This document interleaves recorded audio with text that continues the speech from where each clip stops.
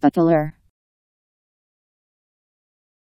A kind of shield, of various shapes and sizes, worn on one of the arms, usually the left, for protecting the front of the body. In the sword and buckler play of the Middle Ages in England, the buckler was a small shield, used, not to cover the body, but to stop or parry blows.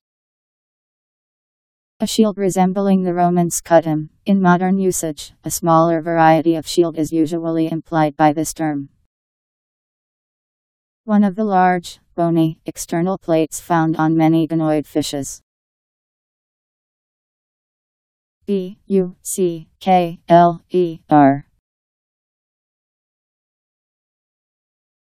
Buckler